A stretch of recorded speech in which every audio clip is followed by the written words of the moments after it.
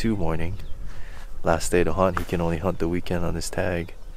Um, had a pretty eventful yesterday.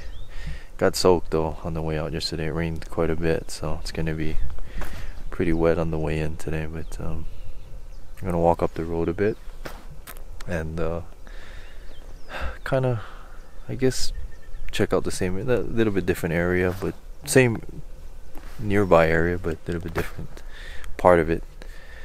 And then see what we see. He passed up a lot of nice ones yesterday. I did. But so that's all his fault if he didn't shoot one. his tag, not mine. but anyway, let's go see. Hopefully it uh, turns out good. Hopefully it doesn't rain today. If we gotta, if it Hopefully. takes, if it takes the afternoon. But I don't think it will. I don't know. So he's gotta think, crossed. gotta think positive.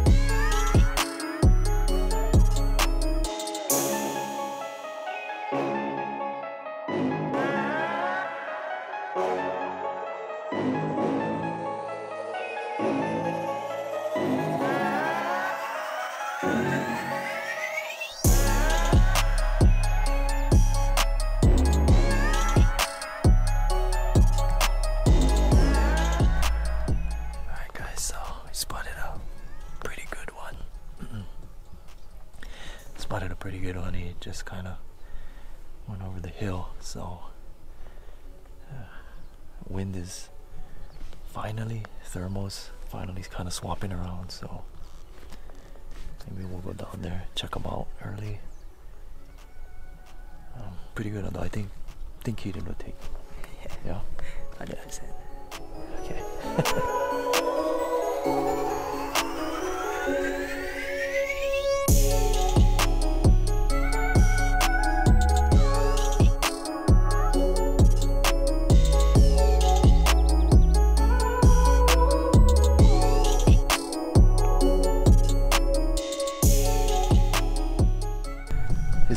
Goop pretty much took off, so not sure what spooked them. We're still about um, about 100 yards away, and um, some ewes picked their heads up and kind of started blowing, and phew, they took off pretty far. I don't know if it was maybe some wild dogs running around, and we do see some other groups just running around that we can't figure out why. But uh, anyway, we've worked our way up into the little oasis over here.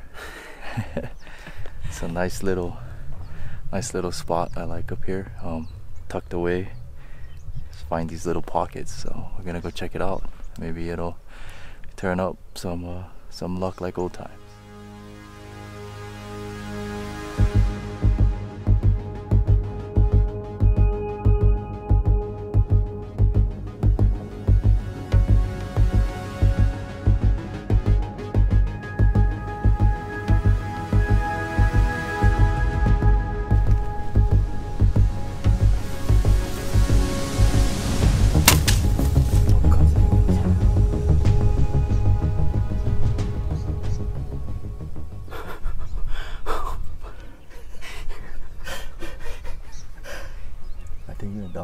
Down. I smell guts.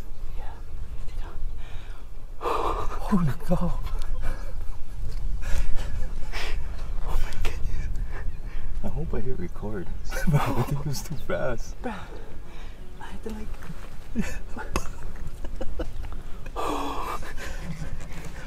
How far is that? Two arrow shafts. It was right here. Oh my goodness.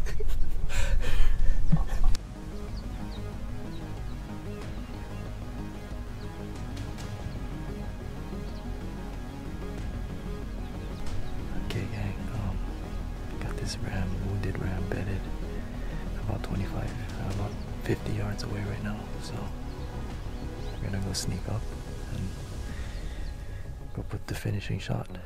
Hopefully it turns out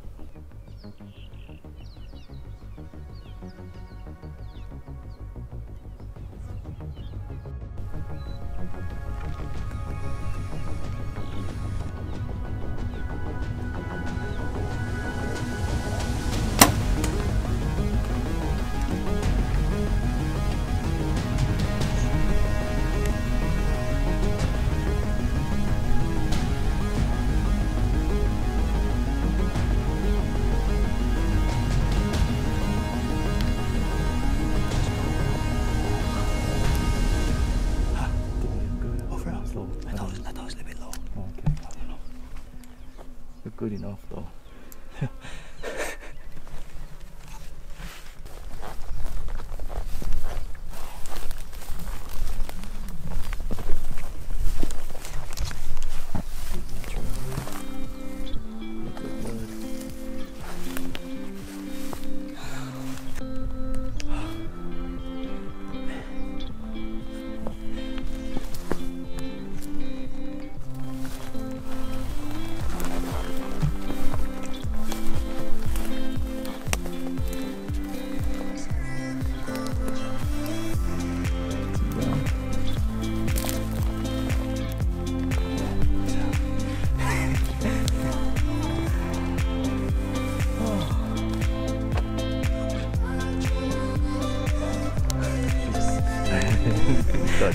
Low. I thought I hit it low. I was like, I was feeling bad. I was like, It's cool. That's what you want.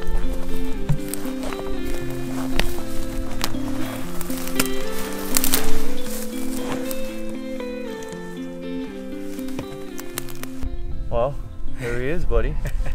thank you. so Uh, awesome ram from Puuwaawaa. Um, Keaton Keaton got lucky. He drew the uh, he drew the tag. There are only 25 tags every weekend, and I believe there's gonna be four total weekends uh, for this hunt. Um, I grew up in this place. I, I youth hunted all in here, and um, it's kind of cool to to see some of the at least some of the hunting come back. You know, uh, a bunch of it's been fenced away and and some of it eradicated, but for the most part, there's still there's still a decent area to hunt here. Um, a lot of wild dogs have wiped out some of the sheep, but uh, you know there was some predator trapping and some of those things, and you know look like they're slowly becoming more viable and more of a, of a quality hunt. Um, I think right now, still, other than like some of the military areas, this is one of the best public areas for guys to get a you know to find a, find a sheep like this, you know. yeah. So it's pretty, pretty awesome. Um, wish we had like some cool footage of stalking it or something, but we really didn't. Like it would have just ran up to you, right? It's crazy. Didn't expect it. yeah. So he probably shot it at like a couple, couple shaft lengths away only. Um, oh, in the panic, he didn't make didn't make a great shot, Yeah, I but didn't. you know we did our due diligence, give it some time, follow up on the shot. Made a good follow up shot, and you know he died. Um, I don't know, probably about 450 yards Yeah. after that shot. So it's a good one. Uh, I think you passed on some better ones though. yeah, yeah, I think I did too, but But this uh, this one just ran up, so I was like, oh man. It'll, it'll go. I think um, you know we're a bit of a time crunch. I think yeah, this last afternoon it poured. It kind of rained on us. We got soaked a bit on the way out. So looking at the clouds today, it might it may even begin to rain a bit earlier. So Yeah. yeah, Kona. Summers in Kona. It, it rains in the in the evening. So and that awesome. I guess the work begins now. Yep. the fun begins. Get to cleaning.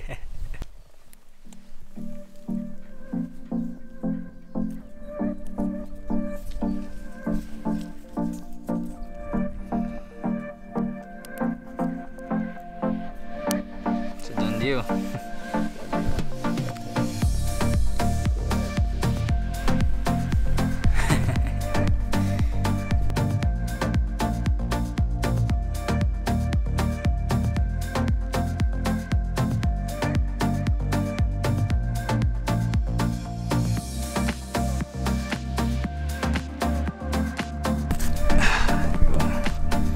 one down. it's not no elk eye.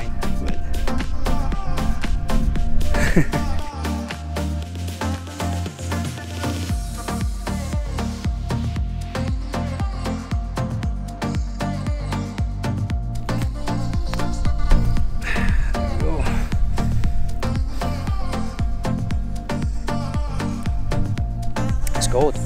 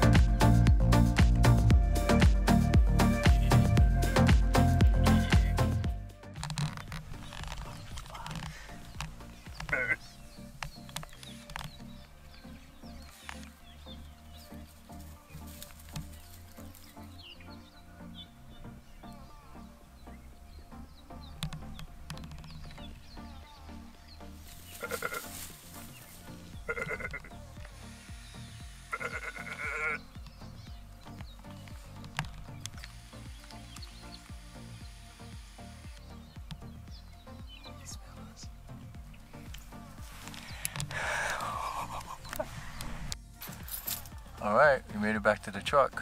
We are tagged and bagged and happy. Good work, Keaton. Good shooting.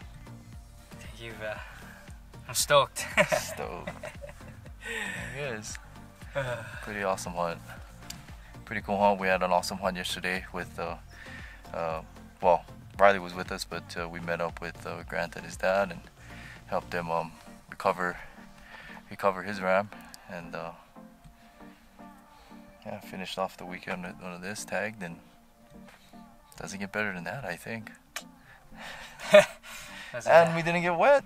I thought it was gonna get wet this evening. I thought it would There's no rain. Yeah. It drizzled a couple of times in there, and I was telling um, I was telling Keaton like, ah, maybe we should shoot one earlier. Like, don't pass on too many. And he did. He shot it, but uh, yeah, it didn't rain. It threatened to rain, but uh, it didn't rain. So, just blessed to be able to do this. It's awesome. What a memorable weekend. The ride home now. Hello guys, thank you for watching the video and help support the channel. Hopefully it was just as much fun to watch as it was for me to film it, edit it, and spend time with my friends out in the field. And you know, field tag or not, in the end, that's kind of what it's all about, right? Having fun, spending time in the outdoors, and you know, just enjoying this hunting lifestyle that, that we all love. Um, but I wanted to leave with one message before I let you guys go. Um, and if you don't want to listen to my fat, just my fat talking head here, you guys can stop the video and uh, go on your merry way. But I wanted to leave with one message um, at the end of this video, and and that's, you know, I've, I've spent a lot of my childhood uh, youth hunting inside of this area, Puuwaawaa, and over the years, there's been a lot of changes. Um, a lot of environmentalism type of stuff that have fenced off and you know eradicated some areas i'm not saying it's good or bad but what i am saying is that there are more plans in the future um, to do some of these things and i i gotta be real i don't know if it's ever going to end so i wanted to leave with a message to the hunters out there that know while this was a cool hunt i'm actually surprised it still exists today i would have thought a lot of this area would have been gone and given away to environmentalism by now but the truth is that that agenda exists and it does displace uh, your public hunting. It does, it may displace this kind of place. So into the future, um, I hope hunters can band together. I hope they can educate themselves and be aware of the things that kind of stand to take away what they have. Um, I know it's really cool to just focus on every weekend going hunting or uh, find your big ram or whatever else kind of peer pressure or more ego-based things that, that, that the hunting community has. But you know, I really want to say if people can maybe look at the bigger picture, see that you know some of these things um, they're on a they're on a sad path uh, if nothing changes, and um, I don't know how to change those things. I I had done those stuff in the past uh, politically and stuff, and it's it's it's very difficult, very complicated. Uh, but a lot of it, I think, is just a lot of our own community kind of wants to avoid those political topics, avoid those um, things that cause friction or division. Um, but we got to be aware of them, and uh, I would just say get educated on the matter and back to the hunt. You know, if the the correct people see this, uh, maybe folks in the DLNR or whatever. Um, I would just like to say the hunt was incredibly enjoyable. Um, I know it was done under some uh, some complex or I don't know how to say it, uh, some semantics with how the hunt is done under a damage control type of thing or whatever it is, but hopefully into the future there can be some kind of sustainable system uh, quite similar to this. A limited tag option um, if population needs to be controlled perhaps, you know, looking at the ewe to ram ratio kind of thing and uh, managing the population that way. But in the end, I just want to say that that regulated tag hunt, you know, limiting also the amount of hunters at one time really makes for a very enjoyable experience that is quite different from the past of how the Department of Hawaii used to run hunting and I would like to express that that was very positive. I think everyone that was lucky enough to draw the tag and participate in it um, would agree because you know their alternatives are some pretty crowded uh, other public hunting areas and I think we can fix that into the future. I think that can that can change and be more positive. positive and you know it might even I would say if it can be planned and structured ahead of time or something like that it might even be something that even the outer island hunters out there can plan to apply for uh, maybe even out of state uh, of course I would always kind of get a little selfish and say you know maybe definitely focus on the residents. I think the people that are here um, should get you know some kind of priority because uh, they've been here and you know this is this is where they live. This is why they some of them even live here, including myself. Right. That's why I don't live on Oahu where it's super crowded in the city. I live on the Big Island where I was raised because of the country, because of the hunting, and because of the people too. Um, and well, it doesn't hurt that housing prices aren't a million dollars here, but it's gonna get there one day. So anyway, don't mind all the background noises. I live in a noisy area. The neighbors are doing some crazy stuff. I don't know, people should be working, but here we are, right? So anyway, thanks again. That's the message, definitely, you know, hunters stick together, educate yourself on the things that are going on, and hopefully Puuwaawaa doesn't see any more bigger fences or any more kind of widespread agendas for eradication. Those things still exist though. Don't want to sugarcoat any of it, but uh, just wanted to put that awareness out there and hopefully use this channel or whatever influence I may have uh, here on YouTube to try to educate and give people awareness and hopefully it'll have some positive outcomes in the future. So thanks again guys for watching. Thanks for supporting the channel. Um, it's a cool video. Hope we can do it again.